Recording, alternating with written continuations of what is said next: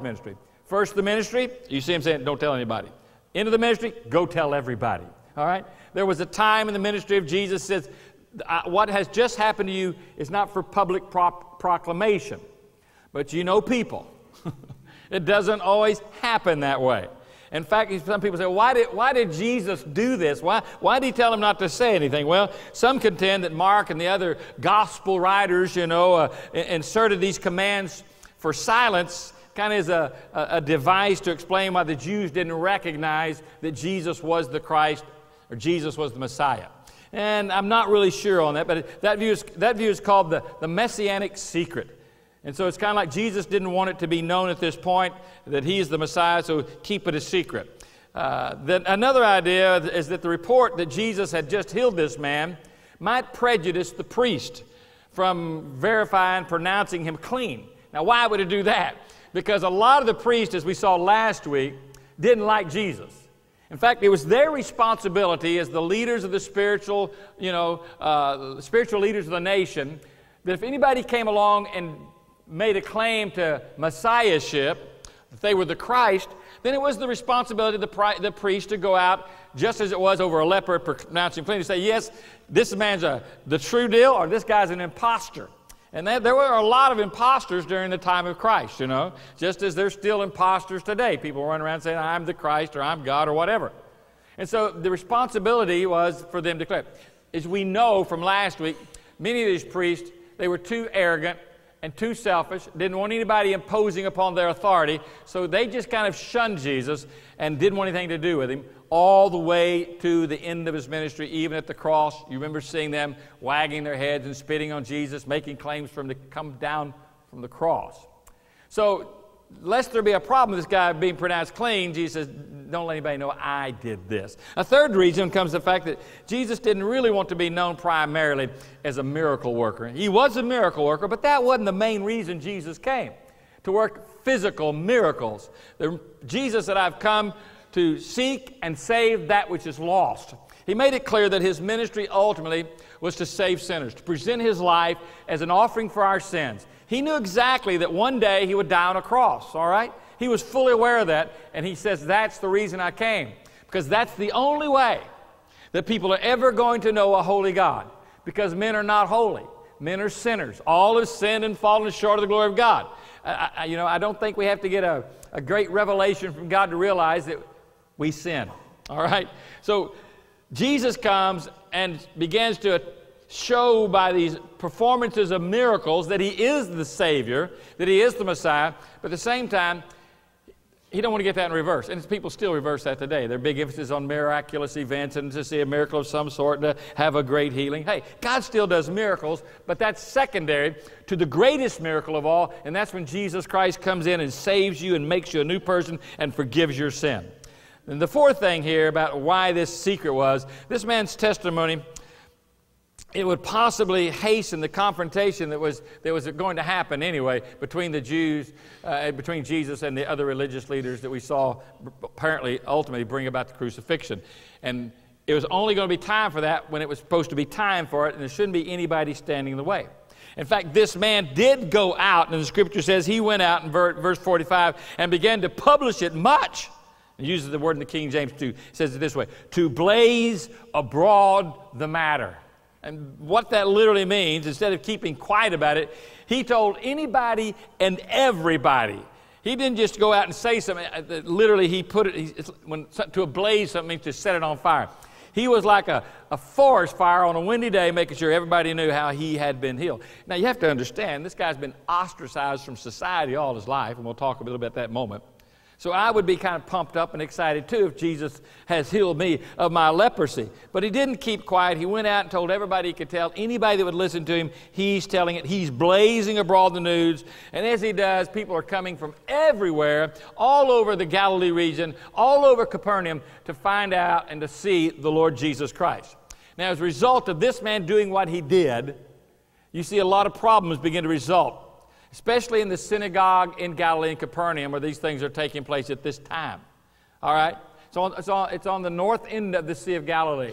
Jesus has become very popular. This man going out has even made it more radically popular. It gets to the point when you study these early days of Jesus, he couldn't even enter into a town openly without in, in, you know, encountering some large crowd. You think the paparazzi's crazy today. Tens of thousands of people are coming to see Jesus. It's everywhere. In fact, the scriptures tell us another place in the New Testament, even when Jesus tried to retreat to a place where he could spend time with his Father, he had to deal with the crowds even there. They just follow him anywhere and everywhere. But again, here's a man with leprosy. It's, it's a terrible disease. It was a hard, it was a hard lifelong illness. There was no known cure for leprosy. And many people looked upon it as some kind of divine judgment or some kind of divine, you know, condemnation of God. In fact, the word in Hebrew for leprosy is the word sarath, and it means to smite or to strike. And, and it was, that word is used because most people would look at a leper and they would say, there's somebody who has displeased God and is under direct judgment by, by, by godly forces, all right, that they've been smitten, they've been hit with a stroke, so there's this judgment upon their life and the, the lepers were pretty much the outcast of, of, the culture. There really wasn't a lot of help for them from, from the culture. In fact, the Greek word is the word lepra, which we get the word leprosy from. And the, Greek physician des, des, designated this as a disease that caused from skin and scaliness of the skin. It was an awful disease. It was a terrible disease. Uh, and like I say, many people considered it as punishment from the Lord. Second Kings chapter 5 and Second Chronicles with Miriam and Gehazi, you might remember that story. And Uzziah is smitten with leprosy. The disease begins with... Uh, at least the ancient writers would tell us this they, that they began with little specks upon the, the eyelids. That's where it would first begin to show up, and then it would gradually uh, go to the, to the palms. And from there, it would gradually spread over the whole body ultimately bleaching your hair white, uh, where, and then crusting the affected parts where the scales would begin to come up. They'd begin to ooze, and then they would crust over. There'd be terrible sores that would begin to be present all over the body, swelling, irritation, inflammation. The, the skin would be literally eaten up. And not only was it a surface kind of disease, after doing that to the outward parts of your body, the disease began to turn inward, ultimately rotting the whole body piecemeal. In the time of Jesus, when this leper was out, no leper could live within a walled city. He could live in an open village, but he couldn't live in a walled city. But wherever he went, he had to dress a certain way, act a certain way. In fact, he had an outer garment that he had to wear that was torn. That was a symbol of his leprosy. He was required to go bareheaded, couldn't put anything over his head. He would be required to cover, if it's a man, his face and his beard with a mantle, as in, as in lamenting or as in grieving his own virtual death. If anybody came near him, a passerby, he had to call out loudly, unclean, unclean, so that they would avoid him, so they would not touch him. You couldn't speak to anyone if you were a leper. You were not allowed to speak to anyone. You couldn't receive or return a salut. How you doing? You couldn't say anything back according to the law. Nothing that would spread the germ, nothing that would, that would cause somebody else to become unclean. especially, you couldn't embrace anybody, and that was part of the salutation. As you came in, maybe somebody shook your hand or hugged you, patted you on the back. That would not be allowed whatsoever. So you can see how this leprosy would separate you from the culture and from the people. The only way you could survive if there was some family member or somebody with ministry heart that would bring you food to eat, all right, and leave you something out. The disease was highly contagious, as you can see from the, the way they had to be treated. It's evident from the regulations regarding this in the book of Leviticus and also in 2 Kings. But it was a bad disease, it was a terrible disease. And again, many people looked upon it as punishment from God for some terrible sin that you had committed, being stricken by the, by the sovereign hand of God. But as you study the Word of God, as I said, there's a lot of symbolism in Scripture. And one thing that becomes very obvious about leprosy is the symbolism is clear in the Word of God. It points it out very clearly that leprosy is a type of and an outward visible sign of, of a spiritual corruption that's going on in, in someone's life. It's a type, it's a picture, it's a symbol of sin and how sin works in somebody's heart. Now we know, I hope we know, maybe you don't, but the Bible says that everybody, because of Adam's sin against God, he corrupted humanity, and that everybody that is ever born into the human race comes in as a sinner. All right?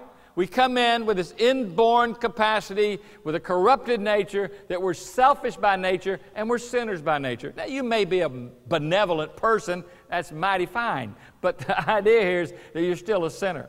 In fact, the scripture makes it clear that all have, see, you know that, all have sinned and fallen short of the glory of God. Now, we kind of like lepers try to bandage ourselves up and put ourselves, put some white garments on or whatever we might try to do to hide that sin, but we're still born sinners. And the reason we don't have fellowship with God, and the reason we sense such an emptiness in our lives, the reason we search in so many different directions for happiness, for success, for peace, is because we are born sinners. It's just our nature. We're born without God. The Bible says that God loved us enough to send His only begotten Son to deal with our problem. Amen. For God so loved the world that He gave His only begotten Son. God gave His Son so you could be cured of this spiritual leprosy that is in your life. The thing that separates you from God. Probably one of the greatest, uh, most miserable uh, situations that would, you would find yourself in as a leper is that if you were a person who loved God, you couldn't go to the synagogue, you couldn't have fellowship with God. And the same is true in spiritual leprosy. When we don't know Christ, we really can't have a relationship with God because we have this problem called sin. And it is unclean and it is unholy. And God is clean and God is holy. So we have this issue we have to deal with of leprosy. And it is interesting when you look at leprosy and how it operates and how it works, how, how close it does relate to how sin works in our life. It just starts so small, doesn't it? As a child, you know, you, you want your will, you want your way. I want my ball. I'm going to go home, take my ball, go home. All those other things children do. You know, mine, mine. I, I, I. My, it all belongs to me. You don't believe a baby's a sinner? Change that first diaper. You new parents appreciate that, don't you? But it starts small. I mean, you know, the alcoholic the drug addict, the adulterer, whatever it might be out here, the immoral, they didn't begin that way. I mean, they had that in their hearts, but it just, I, I give up a little space here, give a little that, and pretty soon it consumes you and sin controls you and, and sin is taking over everything. But it just starts as a little place. That's why, even as a Christian, Satan's always attempting to get you to give over some, oh, just a little thing. You're not as bad as so and so, and you're not getting drunk every, and all these things you might list, all those terrible things everybody does, you know, hey, by the way, let me tell you, you're not going to go to hell because you get drunk. You're not going to go to hell because you kill somebody. You're not going to go to hell because you rob somebody. You're not going to go to hell because you don't go to church. You're going to go to hell because you have a sin problem. And the only one who can solve that sin problem is Jesus. It's what we are more than what we do. Because we do what we do because we are what we are. You sin because you're a sinner. All right, dog barks, why? Because he's not a cat. all right, he's a dog. So dog bow wow, all right? Cats meow. Because they are what they are, they do what they do. So we have to be changed internally, all right? But people, we don't understand that. So what we do is say, I just won't do something. That's like that leper seeing that spot harm come up on his arm, just wraps it. But as soon as it begins to ooze and bleed, and you have to wrap it some more. And it gets bigger and bigger, you wrap it some more. And you'll find out sometimes your biggest sinners are in church, trying to cover up with their religiosity, you know, and their good works what only God can deal with in their heart, but their pride keeps them from coming to the place. Satan just starts small, but after that, from starting small, it starts spreading. Kind of like the vacuum cleaner salesman just wants to get his foot in the door so he can show you the vacuum because he knows he can just show you a little more. He can, he can set the hook. Just get in, just let me in the door. Let me show you how good this is, how great it is, and how wonderful it's going to change your life. And this is the way, the way sin works in our life. It begins, we, we, we let it in, and even though we start resisting and fighting, you know, it starts spreading. It's like the guy who's got a drinking problem says, All right, I know I've got a drinking problem, I'm going to cut back. It just keeps spreading anyway. I'm going to cut back, but you don't. You say, Well, I'm not going to drink on Monday through Friday anymore. But you do. Because sin, like cancer, like leprosy, is never satisfied. We know the Bible makes it clear it's fun to sin. That's the Joe Arms translation. The real Bible translation says there's pleasure in sin for a season. It's fun to sin for a little while, then what happens? Then it begins to consume, and then it begins to spread, and then it begins to take control, then it begins to disfigure. And how many people's lives have been so messed up disfigured in a way from what God wanted in their lives, in their marriages, in their relationships, you know, in their home, with their parents, with their children, whatever it might be, on the job, with their career, with their future. Things begin just to be destroyed and to fall literally apart. You just can't find a place because sin doesn't ever give up and it never stops, and you're not going to be able to control it. It just continues to destroy little by little by little by little, taking more and more and more. Ultimately, it renders us unable to enter the presence of God when we face death because there's the barrier. Can't enter God's presence now, even though I'm trying to be moral and decent and upright because I've got a problem. I'm unclean. I'm a sinner. And only Jesus can touch me at this point and change my life. The Bible makes it clear, more than one place, over and over, without the shedding of blood, there's no removal of our sins. Jesus Christ died on the cross to take away this issue, to take away this, this sickness, this disease of sin in your life, and make you a new person. Ultimately, it renders you unable to have any kind of relationship with God. As a Christian, Maybe you are a child of God. There was a time you made a real dedicated commitment of your life to Christ, but somewhere in this process, you began to justify what you were doing, rationalize your sin, make excuses for it, so to say. So now you're living kind of a pretend life. You're one thing at church, but in your private life, the secret life, and the secrets of your, you're completely something else different. What have you done? You've let something enter into your life that is slowly, little by little, gradually began to spread, ruining your relationships, ruining your life, taking you apart piece by piece, little by little, till you really can't even enjoy your time of fellowship with your Father anymore. Can't go to prayer because you feel so guilty. And Satan is the condemner, so he just keeps heaping it in. He's got a great technique, doesn't he? It's kind of like, yeah, hey, man, this is great. You ought, you ought to try this. I got something you really ought to try. And you, you, you don't miss this, man. This is good. You, yeah, everybody else is doing it, by the way. Hey, you, are going to feel great. And come, on, come on, try this. Yeah, you, hey, ain't nothing like this in the world. And you finally give into that. And then he says something like this if you're a child of God. I can't believe you did that. Look, you are so, you call yourself a believer. You are so worthless. Here, try some more. You don't want to hear this condemnation, so just deaden your senses a little bit more. So he's, you know, he's, he's been doing this a long time, by the way, folks, all right? You, are a rookie. I don't care if you're 100 years old, you're still a rookie in regard to this whole issue. The beautiful thing here is this leper comes and he sees Jesus and he's already heard some of what the Lord does and he approaches him, obviously with humility. He is a leper, all right? But he also approaches him with this measure of holy boldness, you know, and he says, Lord, you know, uh, can you heal me? I know you can if you will. I know you can if you will. And, and, that's pretty interesting because a lot of people believe that God can do something, they don't know that God will do something. Sometimes it's easier to believe in God's power than it is His mercy. And some of you may be struggling there. You know that God can, but you need to realize that God is merciful and God will. I, have known people, and I, I, felt this way in my own life at times. You know, well, I'm just so far from God, I just don't know, you know, I, I don't deserve it. Never has it ever been an issue of you deserving it, lest you think you do. All right? It's always been an issue of mercy. And it's always been an issue of God's will. God does love you, and God does want to express His mercy. God does want to show His kindness. God does want to give you grace in your life. All right? But again, Satan is so subtle in his approach, he sometimes gets people say, Well, yeah, he can, but I don't know if he will. Well, he comes to Jesus, and in the proper Old Testament way, he's identified as a leper, and he's asking, and he, you know, basically he's acknowledging that you, Jesus, you have the right to refuse the prayer. I need mercy. If you will. Now, remember, the rabbis, the priest, they considered this leprosy to be an incurable disease. In fact, only twice, as I mentioned before, in the Old Testament do we have God on record as cleansing a leper. All right? Uzziah and, and, uh, and uh, I mean, Naaman the leper. So we have the Lord working and cleansing people. But here's, here's the situation with this guy. Jesus is standing before him and he says, I believe you can do this. In fact, he has no doubt that God can do something in his life. He only whether, wondered whether Jesus was willing.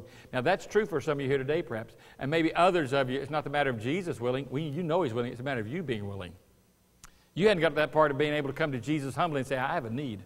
My, I'm, you know, it's like me back in 1973, at the ripe old age of 21. I said, God, I am messed up, and I have messed up my life. I, I, I knew God could do something. I just need to get to the point where I'd let Him do it. And some of you may be able to say, well, I just don't deserve it. I just don't know if He can. He can, and He will. This is His nature. It's within His desires, within His plan to change your heart, to change your life. And so, what does Jesus do? He says, I will. And He touches him. And by the way, remember, He you don't touch lepers, all right? You don't do that. Some of you have those little unwritten codes in your own mind. You don't talk to homeless people. You don't talk to drunks. Whatever that little rule might be in your mind, that's the rule and that's the cultural thing right here. You don't deal with him, you don't talk to him, you don't show him favor, you just ignore him. They might go away. But Jesus doesn't ignore anybody. And he's not ignoring you today. And he knows you and He knows right where you're at. You may fool everybody else to think you have everything all together, but God knows what a mess you're in today. And you have to come to the place say, Lord, if you will, I'm ready. I need you. I need you more than anything else in my life. I mean, Jesus, this point, touches him. Remember, I don't know how old this guy is. The Bible doesn't say.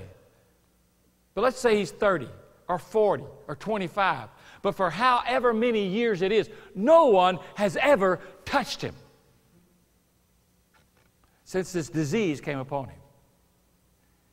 Can you imagine that moment of power? The beauty of that moment when Jesus reaches down and he touches that. It says in verse 40, 41 it says, And Jesus was moved with compassion. And he put forth his hand and he touched him and said unto him, I will be thou clean. What a beautiful moment. But what a beautiful moment it was in my life, 1973, when Jesus said, I will, and reached down and touched my life. Some of you can remember that moment in time in your own life. At the so called end of the rope where the beginning of Jesus and the beginning of the cross started, and you said, Hey, I can't do a thing about this. By, by the way, this guy didn't sit back and say, Oh, I'm a leper, I can't be clean. I've been a leper all my life. It's the only thing I know. I'm just a leper. People do that. Well, you know, that was my excuse for a few years. God started dealing me. You know, I was about 18, 19. The Lord really started convicting me about where I was at in my life and getting my heart right with Him. I, every time somebody talked to me about the Lord, I'd see a billboard or something, that little Holy Spirit start talking to you about stuff. And, and I would say stuff like, well, you know, I, I, am not going to do that. I, am not going to be a hypocrite. You ever say that? Uh, you know, I, I, know, but I just, you know, I, I have to be true. True to who? True to myself. Oh, okay, I'm a sinner.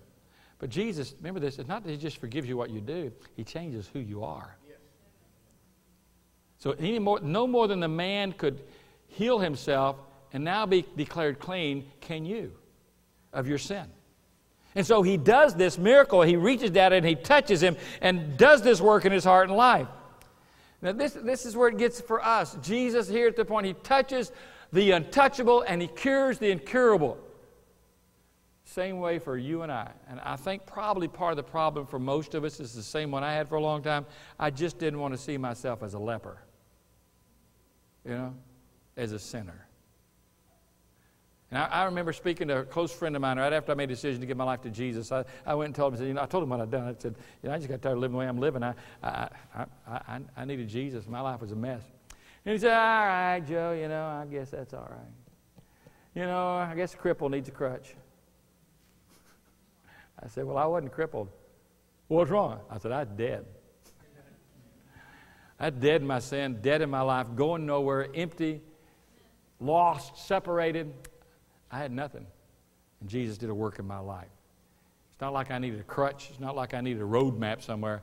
I need a life change, and Jesus Christ is the only one. And here's what he says I am willing. And by the way, in Scripture, that's the present tense. Right now, I am willing. And by the way, Jesus is called the eternal I am right now, where you're at, what you're facing, what you're dealing with, He's able. And He is willing to do something in your life, but you have to come to this place to willingly to be able to ask. He commands at this point, He says, Be clean. And the same thing happens. So if you give your life to Christ, you don't have to be a hypocrite because He makes you new. If any man's in Christ, he's a new creature. How about you? Has that ever happened in your life? You ever come to the place of just saying, I'm this is it. I need, I need God. Well, today could be the day for you. You need to make that decision. And by the way, nobody can make it for you, so quit worrying about what everybody else might say or do anyway. It's you, it's your life, it's your destiny, it's eternity. What will you do with Jesus? For believers in this room today, if there is this leprosy been popping up in your spiritual life, it's you make a decision to get that right, come clean with God so that He might cleanse you. The Bible says, God said, Be clean, and it was immediate, it was complete, and it was visible, which is what God does in our life. He does it in the moment, it's thorough, and it begins to become visible in our life. The other option is keep wrapping yourself with dirty rags. That's the illustration that Paul used when he talked about our best.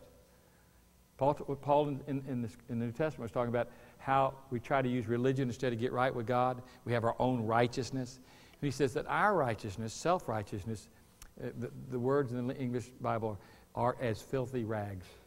Now, those filthy rags that he's referring to, everybody knew what they were. They were the rags that the lepers used. And they would be discarded in places. When the pus and the sores would break and burst and the things would ooze and filthy disease, they'd take those nasty cloths off and they'd drop them aside and they'd redress the wounds. And what Paul was saying, you see those filthy, disease filled rags?